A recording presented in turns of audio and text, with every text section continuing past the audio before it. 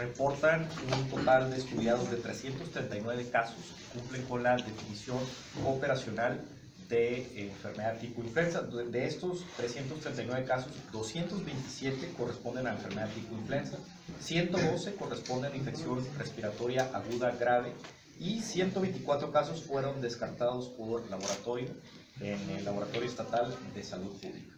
De estos 339 casos que fueron estudiados, 46 casos fueron confirmados, todos, el 100% para influenza H1N1. De estos 46, la gran mayoría se dio en Mexicali con 23 casos. Posteriormente, 21 casos se presentaron en la jurisdicción de Tijuana y un caso fue presentado en la jurisdicción de Ensenada.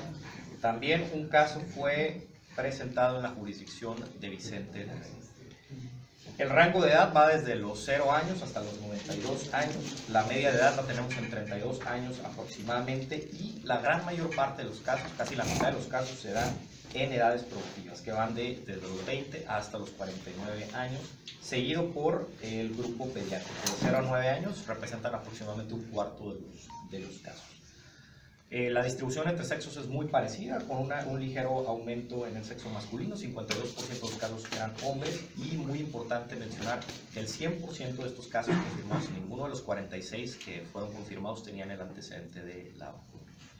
También quiero comentar del lamentable fallecimiento de, una paciente en Ensenada.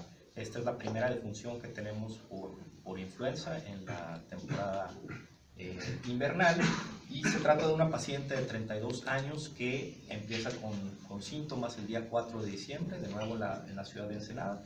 Ella acude el día 8 de diciembre a una clínica privada y el día 9 es referida al Hospital General de Ensenada, donde se le valora y ella llega con un cuadro clínico de,